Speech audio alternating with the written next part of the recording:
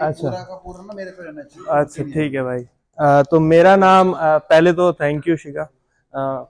मेरा नाम अभिषेक शर्मा है और मैं नोएडा में सिचुएटेड हूँ by the name of the elite surfaces हमारा सारा टाइल्स और सैनिटरी वेयर का काम है और हम ला, लास्ट दो ढाई साल से नोएडा में सिचुएटेड हैं और मैं और मेरा भाई ही इसको संभालते हैं सारा। और अपना मेरे पास सारा, अगर आप देखोगे, ये मेरा शोरूम है, कुछ उसकी फ़ोटोज़ हैं। और हम लोग सिर्फ़ और सिर्फ़,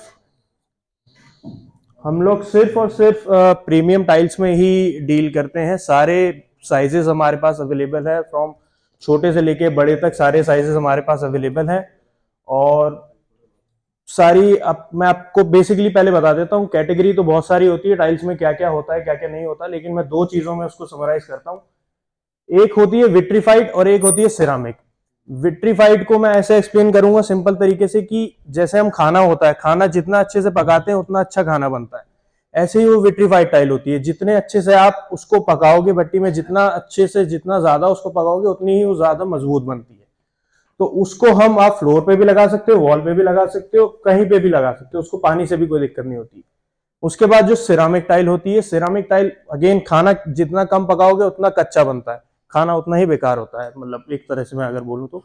ऐसे ही सिरामिक टाइल होती है, उसको अगर आप कम पकाते हैं तो वो कच्ची रह जाती है टाइल लेकिन वो ज़रूरी भी होती है, क्योंकि उसको फिर लोगों को सस्ता भी चाहिए, कुछ ना कुछ तो।